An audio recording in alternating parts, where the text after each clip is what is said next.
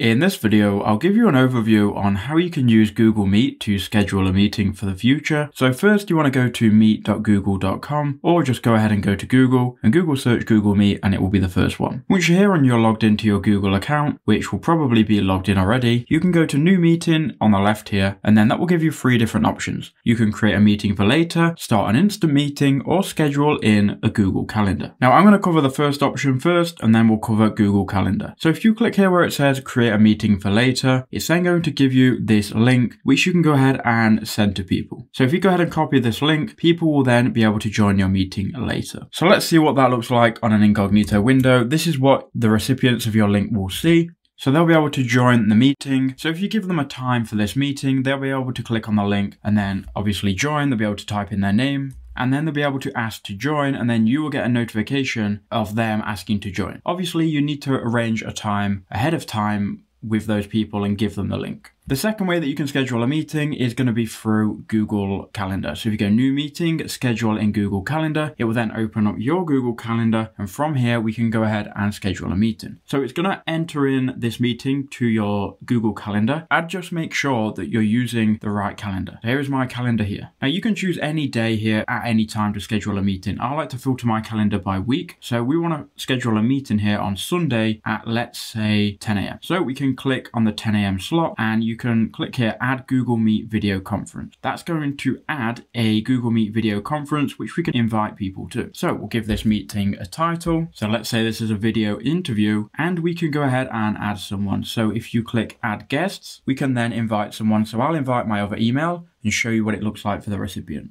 So I'm inviting my other email here and we don't want them to be able to modify the event, but we want them to be able to see the guest list. We can then click save once we're happy with those details. You can also go ahead and add descriptions. So you can add a description and kind of like details of what the meeting is going to be.